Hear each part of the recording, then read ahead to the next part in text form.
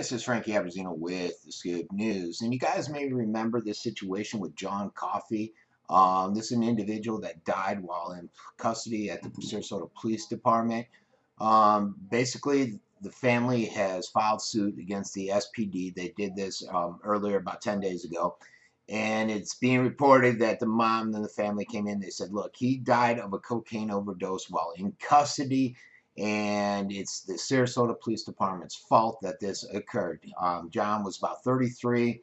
Um, the family said, look, the police pulled him over without um, anything warranted in it. They shouldn't have pulled him over. There was no cause. Um, they said that the Sarasota Police Department commenced to um, an unprovoked attack against Kaafi is what the is being reported that the family is stating.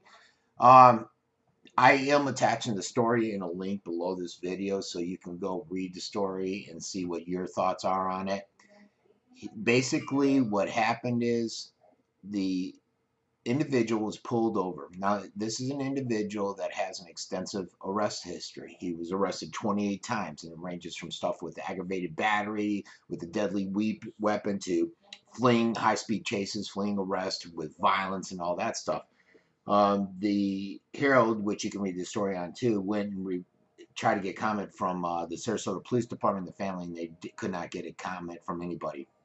Uh, the Sarasota police said, look, his behavior was very erratic.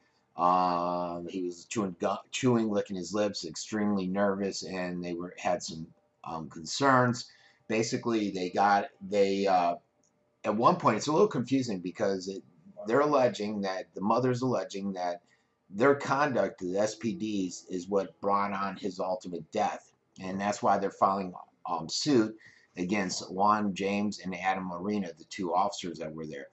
They alleged that they did call for an ambulance because Kaafi was having some kind of breathing problems, but then later that was canceled. When he got to the Sarasota County Jail, um, that's when Kaafi received medical attention and was taken to the hospital. Uh, a lot more to the story. I'll put a link to the Herald write-up on this lawsuit because there's obviously a lot more to it. And then I'll put a link to uh, the original arrest too underneath this video. This has been Frankie Abbruzzino with the Scoop News.